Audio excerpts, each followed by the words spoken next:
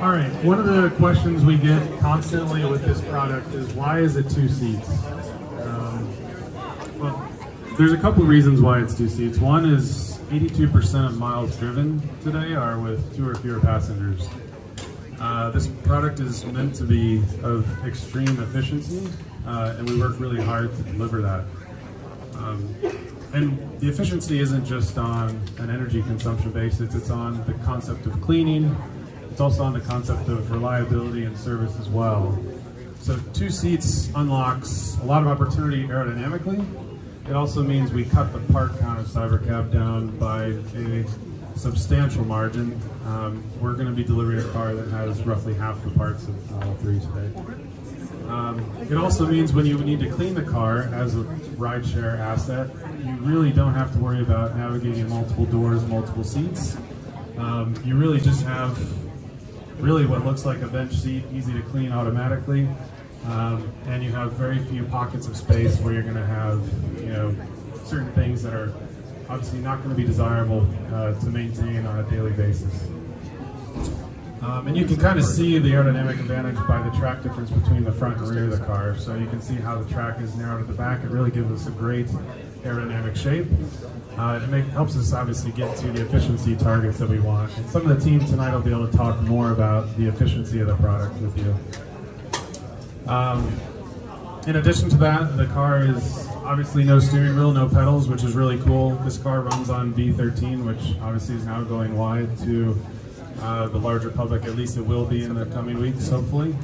Um, some of you hopefully have access to that now. So this car is really running what we're putting out to the public today, which is great. Um, Excuse me. The hardware for Uh, how are these doors more efficient? These doors help you from multiple reasons. One is it allows for better ingress egress for the fact that we move the B pillar back. This seat actually is in the full rearward position rather than having the B pillar kind of more beside the seat, so you get in and out of the car in any position much easier. Uh, and also, Alex can talk about how we've improved the doors from this product or from this version to future versions that also help with efficiency of the, of the design as well as the efficiency getting in and out. Um, so yeah, that's that's a little bit of the of the of the two-seater concept. Yeah, that's a little bit on the two-seater concept.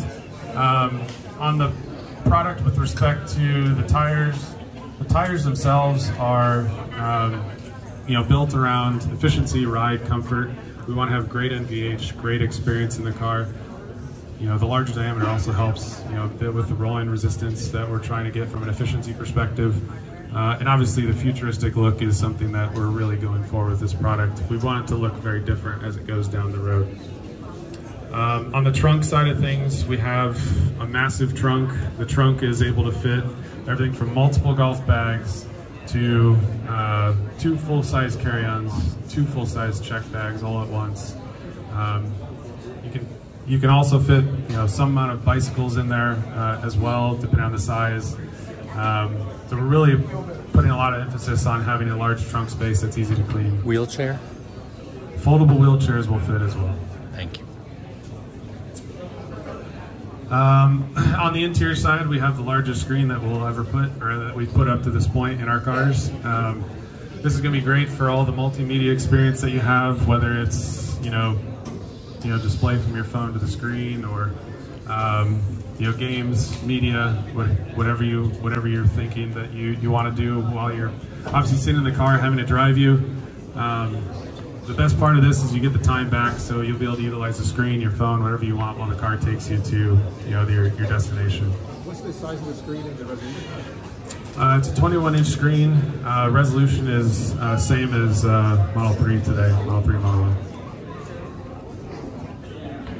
So I think um, you know there's a lot of other questions we can answer, but I want to obviously give the team the opportunity to meet with all of you. Uh, the car is really cool. Um, we're really focused on delivering a super efficient, really cool, fun, comfortable product. Um, we'll kind of stop it there as far as like a brief intro, and uh, definitely we'll give you guys a chance to sit in the car today, which will be really cool. Um, give you a chance to walk around it inside the stanchions. Um, just one note: the car is prototype. We need to be careful with it. Definitely, please don't obviously don't do things that will, will obviously damage the car. We need to obviously keep it in good working shape. So um, be careful with the exterior, be careful with the interior. We'll let you touch around, but um, just be sensitive to that. All right, thanks everybody.